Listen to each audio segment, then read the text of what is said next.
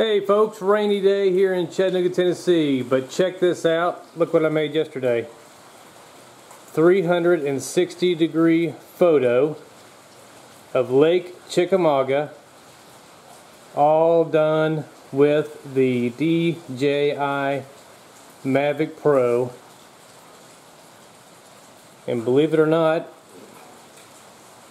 it was fairly easy.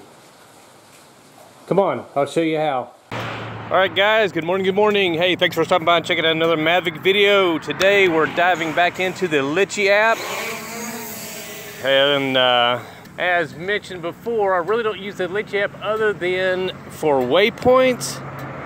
However, I have found a cool new feature that will allow you to take 360 degree photos that you've seen probably on Facebook, and uh, other uh, forms of media that uh, you can scroll around, take a look at the picture. But we're going to do that. Apologize a little bit loud, we're out here by the road. But we're going to take a look at that. We're going to show you how that's done. Okay, so I'm going to go ahead and tap to focus. On your top left, the FPV, hit that. You want to hit Pano and then on the left, you want to check your settings. And mine was already defaulted. You want four rows. You want your top row angle to be 15%. Uh, photos per row, eight. Width for uh, 360 degree photos. Whatever that uh, is at two. Capture strategy, row by row. Uh, don't have to worry about wait time. And there you have the settings, so you can pause it if you need to. So at that point, we've already tapped to focus, hit start. So now the Mavic will get in position and it is going to start firing away.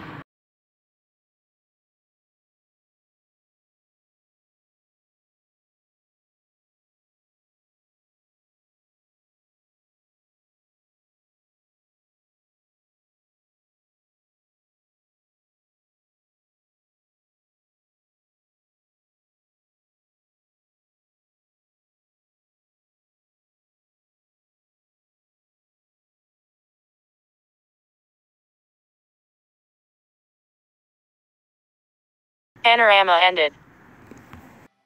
All right, at this point, you just bring it on home and head to the house and start editing. All right, guys. Hey, uh, now once you have taken your photos with your Mavic, you need, there's two other uh, pieces of software that you will need. You'll need the Microsoft, just search Microsoft Ice. It is the image composite editor. And you'll also need Photoshop or possibly uh, GIMP is a free video, I mean a photo editing software that may work. It's free, G-I-M-P, but you'll need to uh, you'll need to be able to uh, resize your canvas and uh, the photo. So, having said that, we'll go ahead and jump right into the uh, image composite editor. We'll go ahead and get uh, click on New Panorama from Images.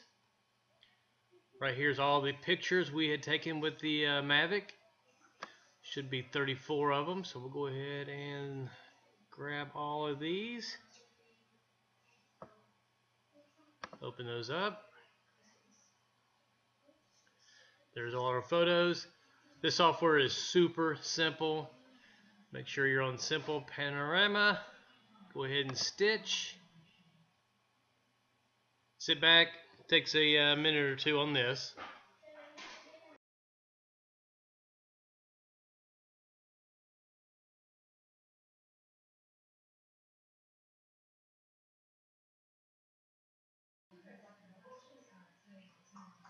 Okay, now that it is stitched, you need to make sure, just make sure it's on spherical. Then uh, auto orientation, all that zero. And it defaults to that automatically anyhow, but just uh, be sure and check that. Hit your crop. Okay, from this point, uh, start to look like a 360, the beginning of a 360 photo. So, but you see you got some wavy lines. Just hit the auto complete and it will fill that sky in.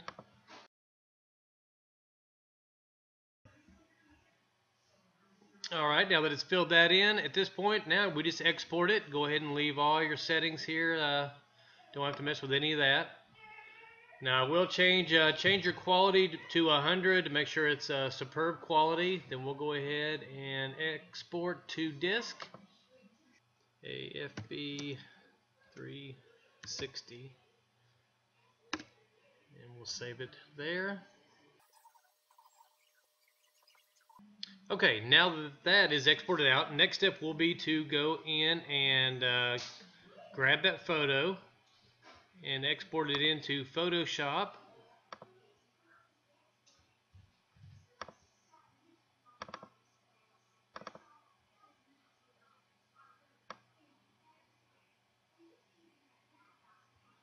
We'll drop that in here.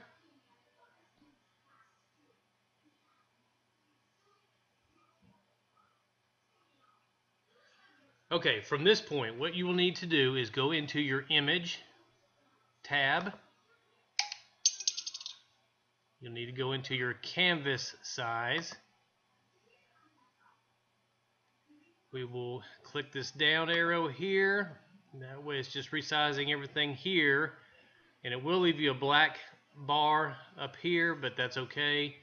Uh, you could either edit that in and fill it in later, but you want to change your aspect ratio 2 to 1. So we'll leave our width, and you don't need to change this number, but you need to, uh, again, be 2 to 1. So now we'll need to change this to 10,240. 10,240. We'll click OK on that. Okay, so now we have the photo looking like this. Go back to image. Now we will resize it. Facebook gets a little finicky on the size. Again, keep it a 2 to 1 ratio. Width, we'll do 10,000. Do the height at 5,000. Go ahead and OK that. Boom. Now at this point, we'll save. So a Facebook 360, we'll just put a 2 on the end of it so we know it's been edited out. Okay, we are almost there. Now, this point, we need to go back into the photo and change some of the properties to it.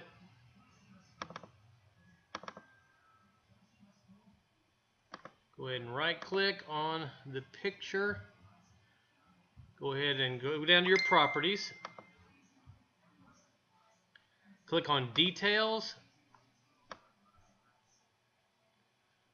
Go down to Camera Maker and we'll just put in the Ricoh and the model. We'll tell it it's going to be a Ricoh, I believe that's how you say it, Theta S. And we will apply that.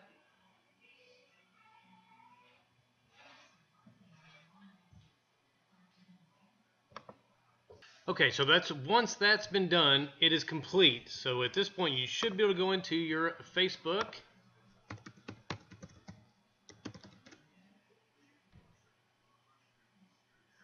We'll go ahead and upload a photo.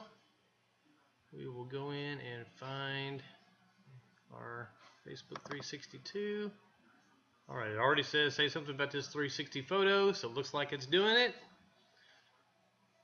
the moment of truth. So it has uploaded. Let's see if let's go ahead and post it.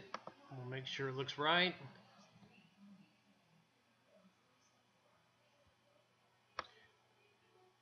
All right, looks like we have a 360 photo. You can click and drag to look around. And the stitching on that, I mean, it's just amazing. But as you can see, the stitching on that, I mean, for it to be 34 photos, I mean, it's almost seamless. All right, and there you have it. That is how you create a 360 photo with the Mavic. Seems like it's uh, kind of complicated with all the steps, but it's really super easy. Uh, so give it a shot if uh, you have the Litchi app. It is definitely worth checking out. But thanks again for stopping by and checking out this video. Be sure to subscribe if you haven't already. Many more Mavic videos on its way. Thanks and make it a great day.